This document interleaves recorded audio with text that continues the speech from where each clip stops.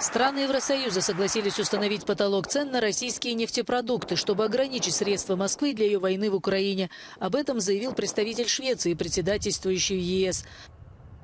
Ограничение предлагается установить на уровне 100 долларов за баррель для нефтепродукции, которая торгуется с надбавкой по отношению к сырой нефти, в основном дизельное топливо и бензин. А для дисконтных продуктов, таких как мазут и гудрон, на уровне 45 долларов за баррель. Решение вступает в силу с 5 февраля швидке відбудову.